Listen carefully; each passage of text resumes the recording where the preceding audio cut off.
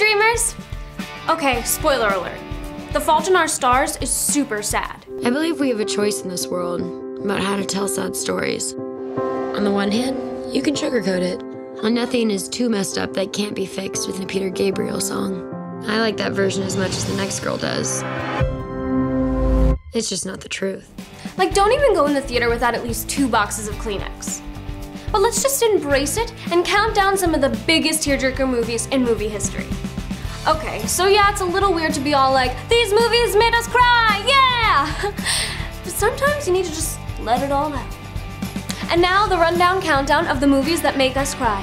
Which, by the way, we will rate with tears instead of stars. The more a movie makes you cry, the more tears it gets. Let's do this.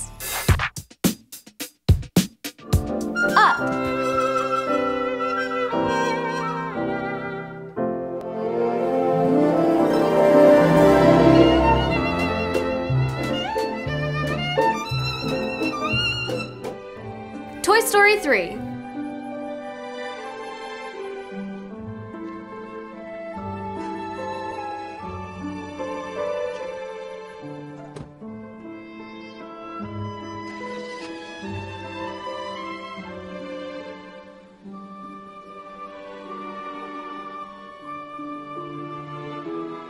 Thanks, guys. WALL-E.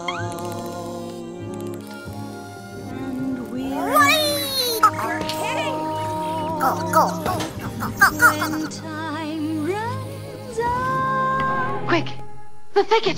Bambi.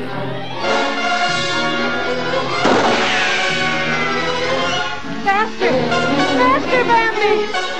Aw, Dumbo. Hand close to my heart, never to part, baby of mine.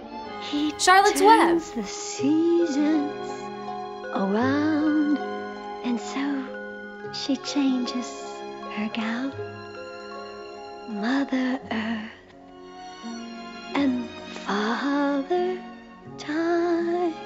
An American Tail.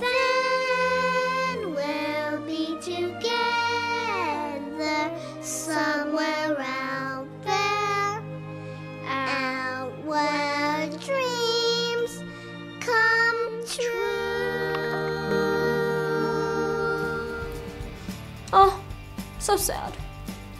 All right, fanful time. Which movie do you think gets the most tears? Toy Story 3 or Bambi? Comment.